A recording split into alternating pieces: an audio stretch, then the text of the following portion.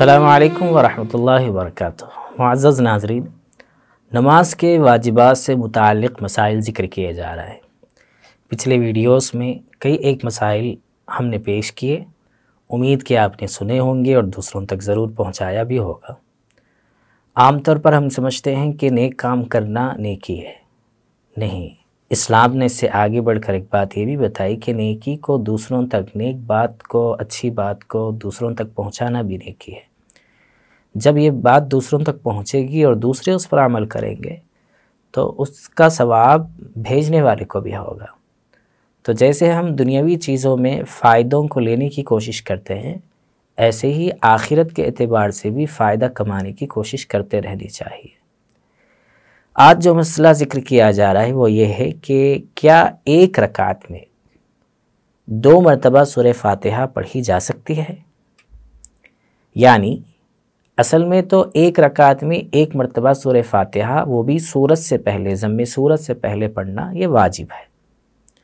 लेकिन अगर किसी ने भूल कर एक रकात में पहले सुर फातिहा पढ़ी और उसके बाद फिर उसी रकात के अंदर बजाय कोई दूसरा सूरत पढ़ने के फिर सुर फातिहा को पढ़ दिया। अब ये अगर गलती से होता है तो ऐसी सूरत में सजद सहू वाजिब होगा।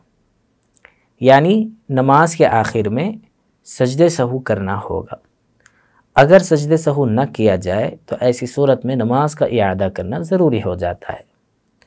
हाँ अगर किसी ने इस अंदाज में किरत की कि पहली ही रकात के अंदर या हर रकात में सुर फातिहा के बाद कोई दूसरी सूरत पढ़ी और फिर उसके बाद फिर सुर फातिहा पढ़ी तो अब सजदे सहू वाजिब नहीं होगा।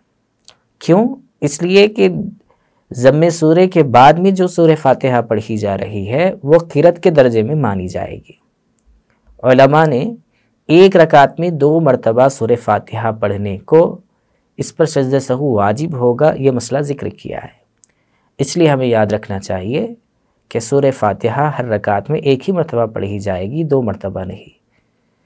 और इस सिलसिले में वाजिबात और नमाज़ से मुतक़ मसाइल को याद रखना चाहिए ताकि उससे हमें नमाज़ को सही तौर पर अदा करने में सहूलत रहेगी।